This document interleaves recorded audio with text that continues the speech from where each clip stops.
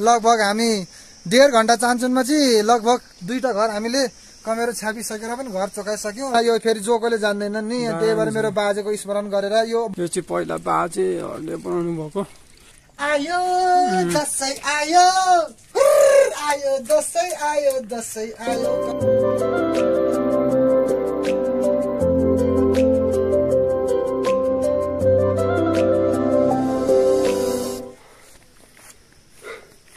Right अहिलेको अवस्थामा चाहिँ म पुरै माटो बोकिरहेको छु होइन घर लिप्नको लागि चट्ट लाएर माटो बोक्दैछु यता चाहिँ पुरै धानबारी छ धान मजाले फलिरहेछ होइन अनि म चाहिँ पोपी पारामा भारी बोक्दैछु अब यो माटो लगेर चाहिँ घर लिप्नु पर्ने हुन्छ ओहो यस्तै छ दसैँ लागिरहेछ गाउँमा धमाधम मजा आइरहेछ। है गायकहरू बडा दसैँको अवसरमा हामीले पुराना थत्रे घरलाई चाहिँ चखाउन लाग्दैछौँ। दहीभन्दा सेतो लारा पारेर कमेरो हेर्नुहोस् है अहिले घर त्यस्तो छ। अलिबेरमा फेरि घर तयार भएपछि त हामी फोटो फेरि अपलोड अपलोड गर्न जान्छौँ है। अपलोड गर्नेछौँ हेर्नु है कस्तो हुँदो रहेछ हेर्नु। आहा। खतरा खतरा खतरा। यी बडा दसैँको लागि फेरि भाले डेन्जर छ यहाँनिर डेन्जर मार हान्ने मार मार मार। वाह वाह। बाले फेरि डेन्जर छ ल यो चाहिँ कडाइ हो। ल अब यहाँ चाहिँ हाम्रो यो चाहिँ कमेरो हो गाइज आजबाट चाहिँ पक्का पक्की दसैँ लागेको अवस्था होइन? यो चाहिँ कमेरो हामीले चट्ट यहाँ भिजाएर यो चाहिँ दुईजनाले छैन भएर दुईजनालाई ठिक्क पारिरहेको छौँ। अब चाहिँ गाउँमा चाहिँ दसैँ सुरु भयो। आजबाट कमेरो छ्यापाइ अनि अरू के के हुन्छ गर्नुपर्छ ल। अनि यहाँनिर कमेरो ठिक्क पारिरहेको छौँ हामीले। रातो माटो यहाँ छ। अनि यहाँ अङ्कलकोमा छापिने हो है? आज चाहिँ यो चाहिँ मूल घर। यो ठुलो घरमा चाहिँ छापिँदैन। यो चाहिँ पहिला पहिलाको ठुलो घर हो।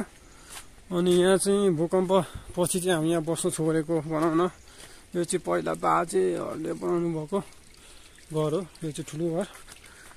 आम्मामा पहिलाको घर कस्तो डेन्जर यो तिन तले घर हो यार अब यो घरमा चाहिँ छ्याप्ने कुरो हुँदैन। अनि अब यहाँ बस्दै गरेको घर चाहिँ यो हो। अब यसमा छ्याप्ने हो। चिलिक्क पारेर अङ्कल र मेरो छ्याप्ने काम हुन्छ। अनि यो चाहिँ गाउँमा कमेरो छ्याप्ने चाहिँ मेन यो कुचो।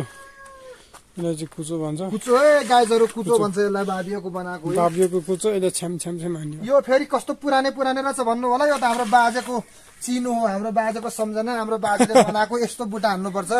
मिलाएर चिटिक्क- पारेर यो फेरि जोकोले जान्दैनन् नि। त्यही भएर मेरो बाजेको स्मरण गरेर यो भनेको त अझै मेरो नातिको पालासम्म राखेर यो प्रयोगमा ल्याउने हो मैले यो कुचोलाई। हेर्नुहोस् है तपाईँहरूले भन्नु होला कस्तो पुरानो रहेछ भन्नु होला। यो त एउटा इतिहासको कुरा हो। ल हेर्नु हेर्नु, ल।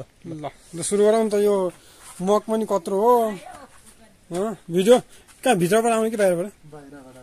ल स्टार्ट गर्नु नि त तपाईँले। दसैँ सुरु भयो। ल। ल हेर्नुहोस् है हेर्नुहोस् है यस्तो गर्नुपर्छ अनि घर अहिले यस्तो हिरो हुन्छ कि मेरो घर? त आमामामामा। खतरा हुन्छ खतरा हुन्छ। तपाईँले पत्ताउनु भएको छैन होला हेर्नुहोस् है हेर्नुहोस् है। अलिकति अलिकति अलिकति मैले सरसफाइ गरेर चट्ट यो लगाएपछि मेरो घर पनि सरसफाइमा दसैँको बेलामा आहा। पुरै मकै पनि यो झुन्डाएर चिटिक्क। घर त चिटिक्कै छ नि। यो घर त अनि कहाँ अनि मैले बनाएको भए यस्तो चिटिक्क हुँदैन थियो। सबै मिस्त्रीले बनाएको हो क्या त्यो छ? हेर्नुहोस् है। लेखिदिएछ हामीको बुहारी लेखेर जिल्ला कुन ठाउँ माइला कुन ठाउँ भन्ने।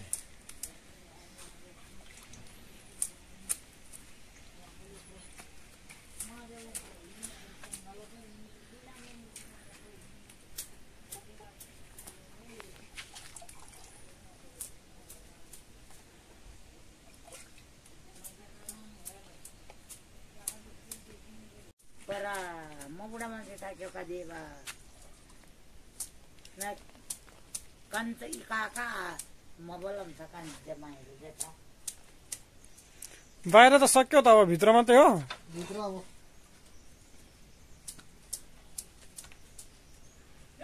कस्तो दामी पो देखियो है भाइ सुकेपछि त सुक्यो चाहिँ राम्रै आउँछ होला अनि यो कमेरो त पत्ता आनन्द मान्दा घरको मान्छेले नि यो घरको मान्छेले नि अनि यो दामी पो लाग्यो म त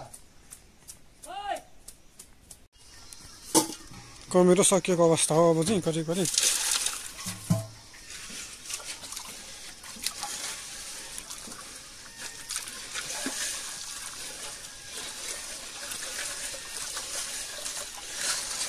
कमेरो पनि सकियो हामीले घर रङ्गाइ पनि सकायौँ अब चाहिँ चलक्क भइसक्यो घरि ठिलिक्क टल्किसक्यो अब त्यो ठुलो घरमा पनि यसो एक दुई जम्मा हान्नुपर्ने स्थिति आएको छ गाइन्छ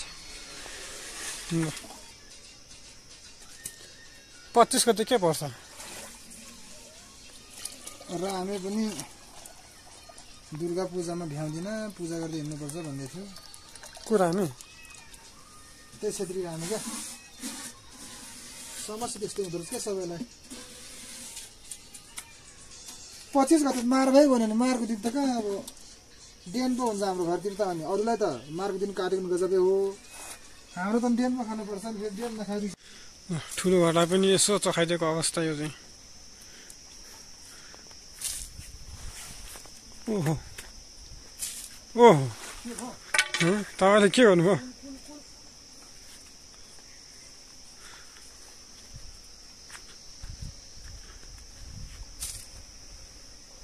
बाउको घर हँ, बाउको घर नरिसाउ चखाए बाउ कति दुःखले बनाएको पहिला पहिला। त्यो पनि बस छोरा पसरे खेर यति गर्ने अरूको घर छैन। ल यो घर पनि चोख्यो।